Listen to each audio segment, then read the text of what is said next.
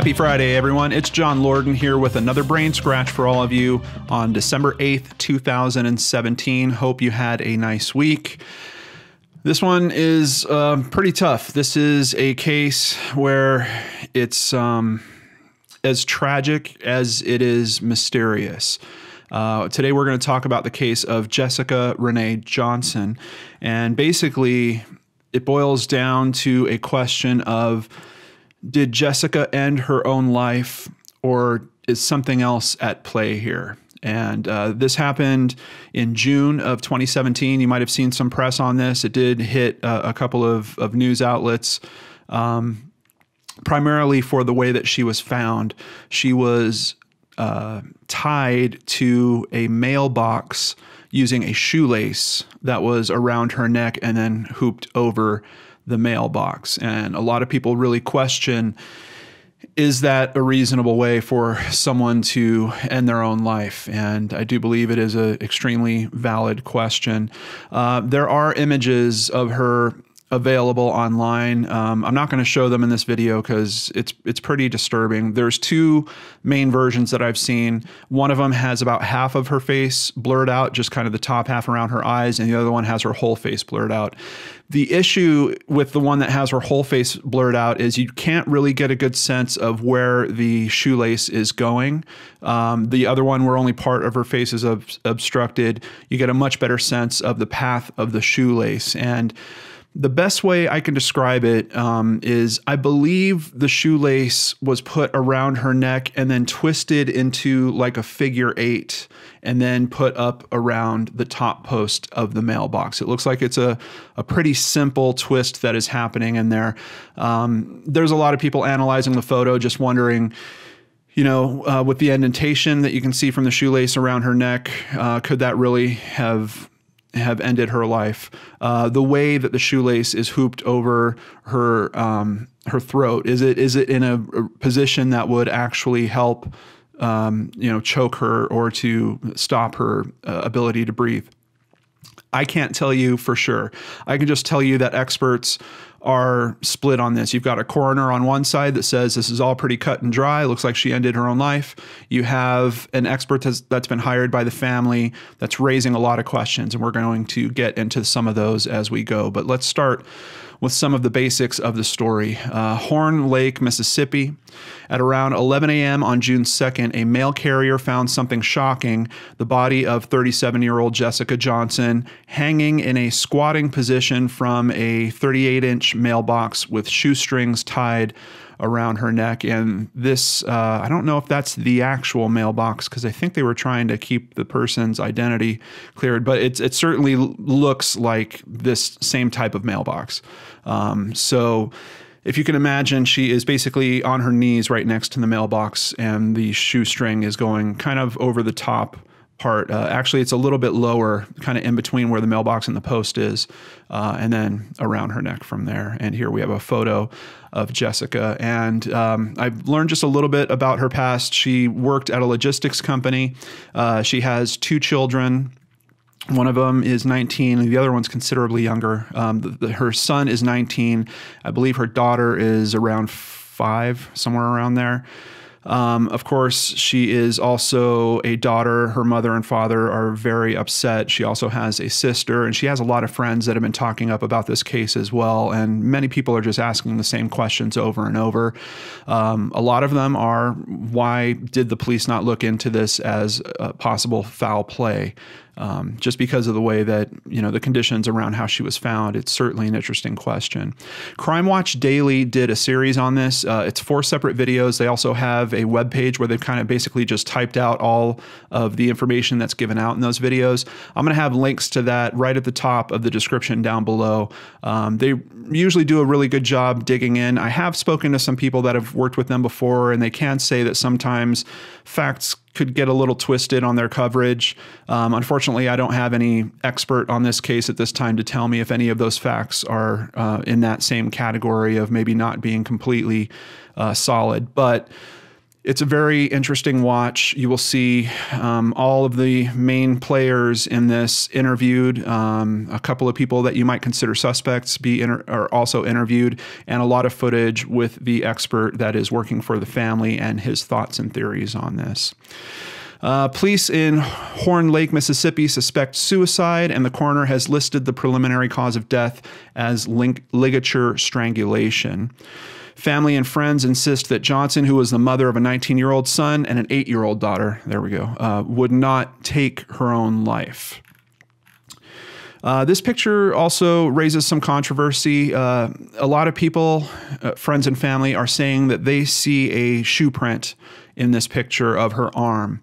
Um, I am not certain that it's a shoe print. My initial assumption when I looked at it was it could possibly be grass, depending on the placement of her arm. Uh, you can see, even in this photo, uh, the grass at the at the mailbox she was found out was fairly high. And in the photo, you can see where that arm is placed. That arm is actually right up against the wood of the post. Um, so my initial assumption was that that could have been markings left from an indentation of all the different grass fibers kind of pushing up between her arm and the post. But other people, for example, on Web Sleuths, are theorizing it's actually the grain of the wood because it's a rough type of grain that is on that mailbox post. Johnson, who lived with her mother in Horn Lake, left home on May 31st. According to Linda, her daughter was planning to spend a few days with her on again, off again boyfriend, Garland Hart. Linda described the couple's relationship as toxic. She said she FaceTimed her daughter on June 1st, who said she was going home, but she never made it. Um, j- just to be clear about this, her parents have been very clear about this. Jessica did struggle with some addiction issues. Her mother, uh, when interviewed by Crime Watch Daily, specifically said that she believed Xanax was Jessica's drug of choice. Uh, the coroner did do a toxicology report. We're going to get to those results in a, in a little while. The family has enlisted the help of Dr. Maurice Godwin, a criminal investigative psychologist. It is his opinion that Johnson likely died at another location and the scene was, quote, staged as a hanging. Uh, and another interesting thing here, they have a picture of her shoe. I've heard it reported two different ways. Either her shoes were actually inside this friend's house or her shoes were right outside of this friend's house, but not close to where she was actually found. Um, so supposedly she had taken the laces off her shoes. Uh, in one version of this story, she even makes a comment to a roommate that lives at this house that she might do something to harm herself. The roommate kind of dismisses her and closes the door. Um, she apparently leaves the shoes near the house, takes the laces, and walks away. So it is a very interesting question in terms of um, this type of area. There's not a lot of streetlights out here. There's not a lot a lot of lighting that you have in this type of area. And if you're going to go walking off to try to find some place to end your life, are you really going to do that without shoes and really any way of seeing where you're going? Um, just a, a lot of, of really tough questions in this case. Godwin also points out how difficult it would have been to tie the shoelaces around the mailbox as tightly and neatly as they were herself from a sitting position.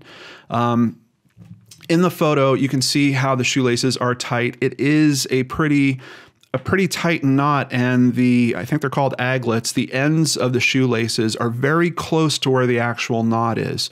Now, I believe he's assuming that she tied this while she was kneeling right next to the um, post office or right next to the mailbox.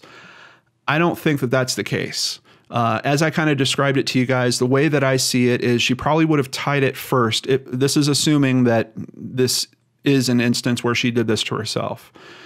She could have tied it first and created the hoop then put the hoop over her head, twisted it once, and then put the other end over the post. Um, but I don't think that um, that Mr. Godwin is is thinking about that possibility here.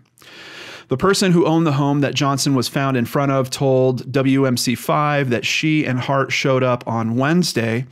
He last saw her on Thursday and said she had gotten into a fight with Hart and seemed emotionally distraught.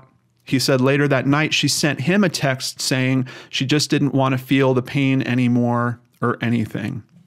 there's a lot of strange information that's coming out of this person that owns the house. Um, once again, I just have to recommend you guys check out the Crime Watch Daily links that are down below.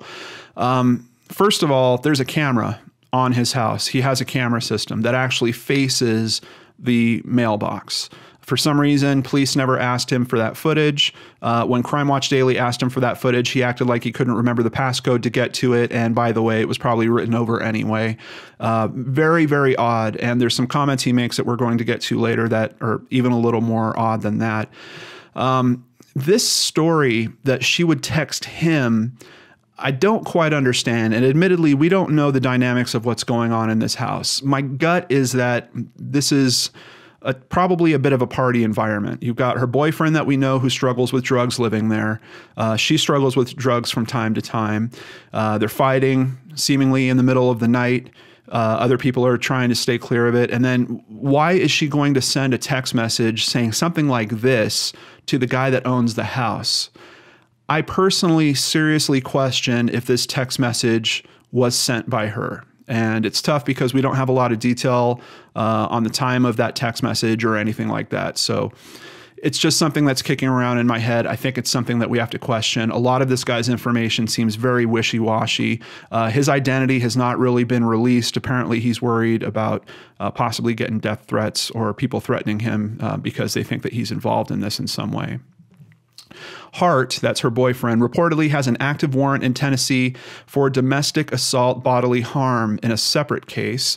And we can actually see here at shelbywarrants.org um, that that is true. Domestic assault bodily harm charge. Um, and we can see that it was issued September 21st of 2017. And if you click on the photo, you can confirm that is indeed her boyfriend. So all of that information certainly pans out. Now, Heavy.com has also done some coverage on this. Um, I'm I'm kind of a fan of this website in terms of the information they pull together, but sometimes I kind of question their sources.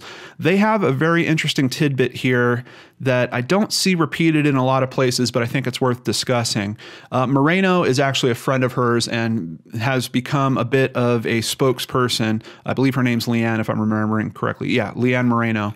Uh, she's become a bit of a spokesperson for the family. She's also trying to collect as much information as possible uh, using uh, social media.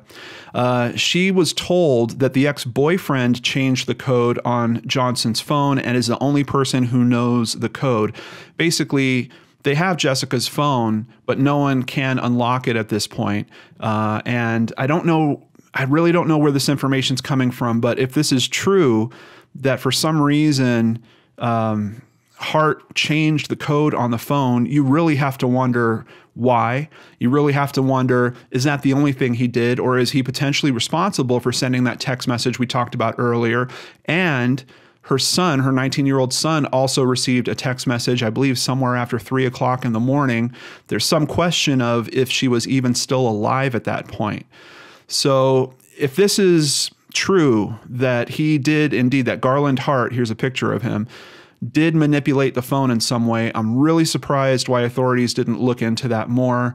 Um, another thing is apparently her phone had a fingerprint scanner. Unfortunately, she has since been cremated, but if authorities would have thought to possibly use her fingerprint scanner, they probably could have opened it when they still had access uh, to her. They could have at least unlocked her phone. From what I've seen, her parents are working with Apple, but that requires some type of court order. So they're trying to go through the legal processes to get the information from that phone. I'll be very curious to see if, if any new revelations can come out of the info that they get on that. Uh, this also notes that he hasn't been cooperative with the family once again in the crime watch daily footage they actually interview him for a segment and uh, he's very clear that he knows the family is blaming him essentially for this that they think that he did something to her. So uh, i, I kind of understand why he's not going to be exactly cooperative with the family. I don't know when that relationship went bad. Um, the way that I see it, it seems like her mom really didn't like him kind of from the start. Uh, her family seems to note that she started dating these kind of bad boys recently for some reason. They felt like she was falling into a bit of a bad crowd. So it could be that this relationship was already shot um, before she had uh, died. So I, I, don't know if this is a result of what's happened or if this was just where this relationship al- already was for this family. Just to backtrack for a moment, uh, one other thing that you might notice on this picture of her arm is there there is what seems to be several small wounds. Now, some people are claiming that, that these are defensive wounds. Um, I don't I don't know if I could really say that, but something certainly happened to this woman's arm. Uh, from what I can see in the other picture, her other arm doesn't quite look like this. There is very clearly a bruise here, and it does look to me like it's in a position where someone might have um, been restraining her wrist. It does kind of look to me like that could be a thumbprint of someone actually grabbing her wrist and, and holding on to it. But I'm very curious about what some of her family has described as the holes, particularly around her hand area. Um, I really don't know what would develop those. I've never quite seen that in a case like this before. Um, and I don't know how old they are. We don't have the autopsy report, which would normally talk about every instance of this. They would talk about the measurements and they would give some information about how old they think that those abrasions or, or cuts are. Um, it's really I, I, don't know, but I just have to point it out to you guys because there does seem to be something weird about this hand in particular. And as I mentioned before, this is the hand that was up against the post um, of the the mailbox. Jumping over to WMCActionNews5.com, uh, we get a little bit more insight about her family's thoughts on this. A young woman's parents are turning up the heat on investigators by using social media to press for answers surrounding their daughter's death. Family and friends are circulating a photo of Jessica's arm. They say the photograph, which shows cuts, bruises, and a shoe print, proves that something wasn't right. I already told you guys I don't think it's a shoe print, but outside of that, the cuts are really interesting to me. Uh, I'm not sure if they've been cleaned at this point. Is another thing. Um, you know, they if they were fresh, I would imagine there should should be some blood around where these actual punctures are, and I'm not, I can't really determine if that's happening in this photograph or not. But the main thing for me is certainly uh, the bruising around her wrist. That just it really seems like there's likelihood that there was some type of violence towards her that might have been happening at this point. Uh, and based on things that her family has said, that might not be out of the realm of possibility or even as just a normal part of the relationship that she was having. Uh, with Mr. Uh, Garland Hart. And we know that, of course, he has a charge for domestic assault on him as well. So the likelihood that she was being abused in some way by him, I think, is quite reasonable. Um, just did that abuse lead to something happening her, to her on this particular day or not? I don't know.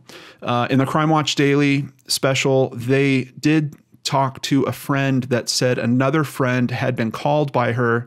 Uh, went to the house to take her home, but ultimately that she wouldn't leave with that friend it's really light detail. Uh, they didn't really get into it a lot more than that. So I don't know if that friend might have some more insight into was there some type of physicality already going on between them at that point in the evening when they were arguing or not.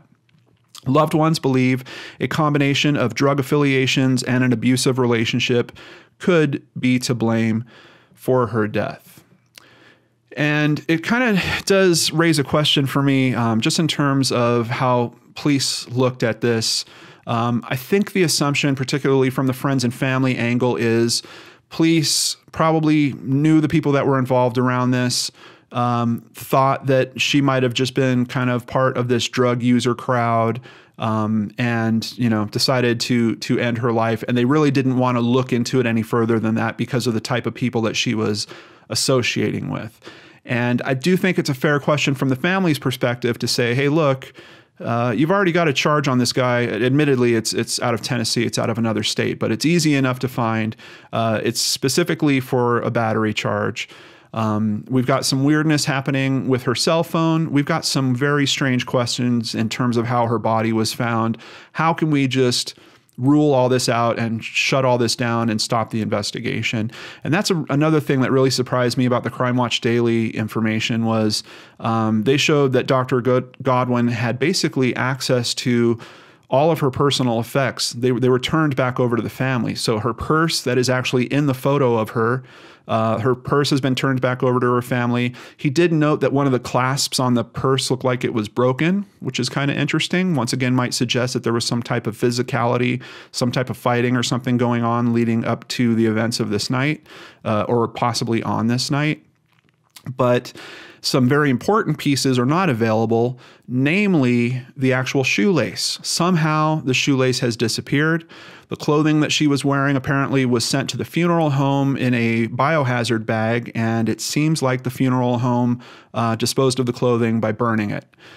So it's really tough because at this point, um, you know, we have a, a, coroner that's saying he thinks it's probably suicide, but it's now being reviewed at a state level if that does get overturned for some reason, their ability to investigate it at this point is severely hampered. And it just does raise a very good question of even in cases where you believe it might likely be uh, someone harming themselves, shouldn't you process the scene in a way where there, there could be enough physical evidence to move forward if that gets overturned later?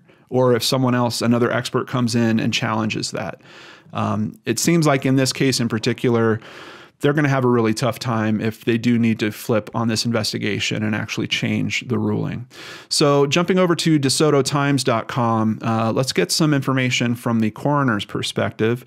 DeSoto County Coroner Jeff Pounders says it's one of the strangest cases he has ever seen, but based on evidence and toxicology results, he stands by the official explanation of death by asphyxiation. Quote, I don't know how many people had driven by the mailbox and not seen her. The weeds were so tall. A toxicology report came back showing high levels of methamphetamine and Xanax in her system. So, once again, uh, kind of pointing me to that mindset that this was possibly a party house. Maybe that's why she was staying there for a couple days, trying to keep it away from her children or, or her parents. Um, I don't know. Pounders has served as coroner for nearly three and a half decades. Now, I have looked at cases before, and a lot of questions have come up um, about coroners because the regulations for becoming a coroner or the, the requirements vary state by state really severely.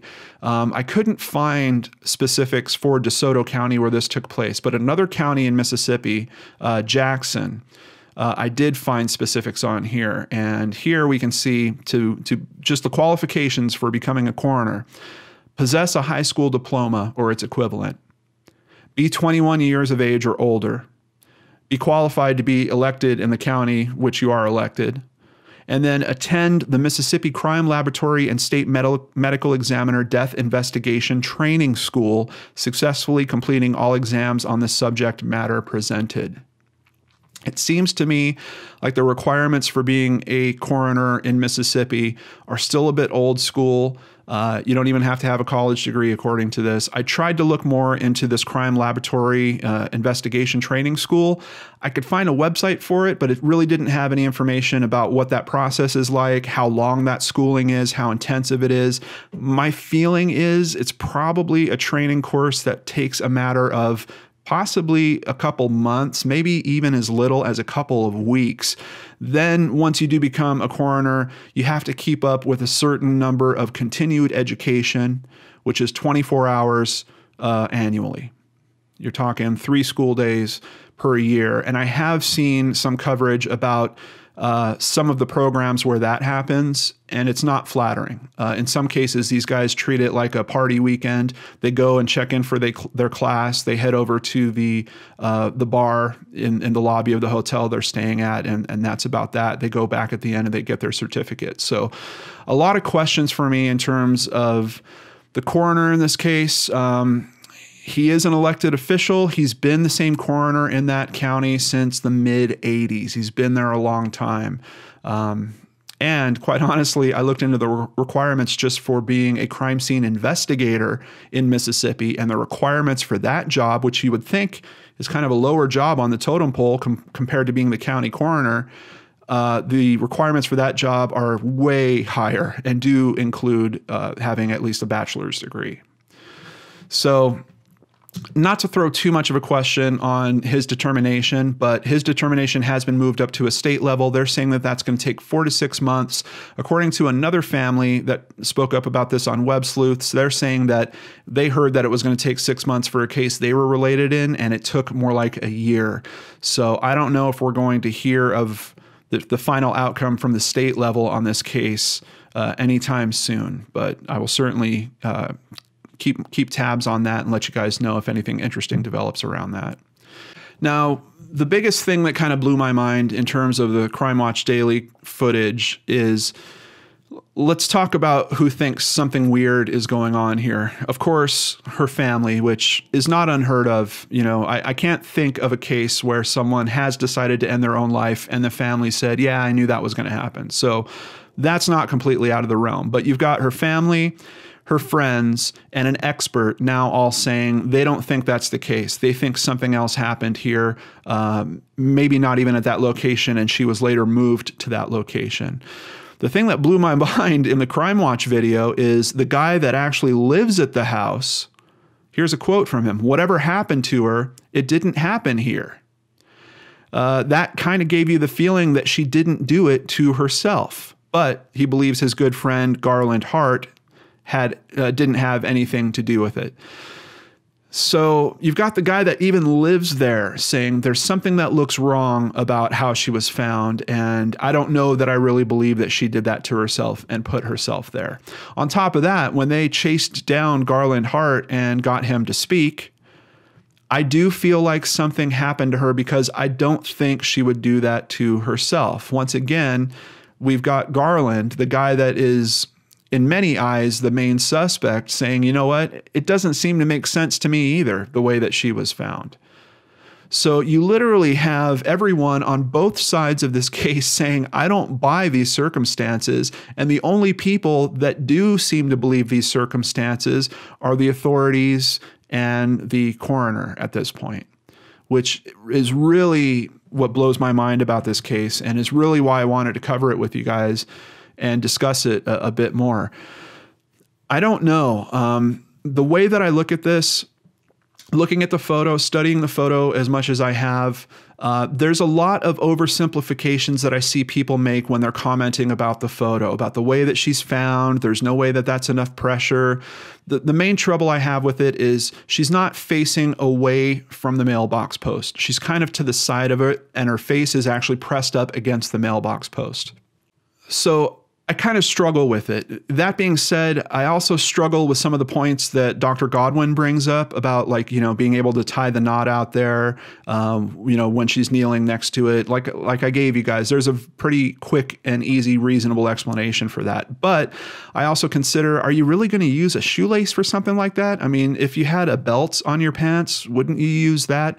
Uh, her purse was with her. There was a strap that she could unclick on both sides of her purse.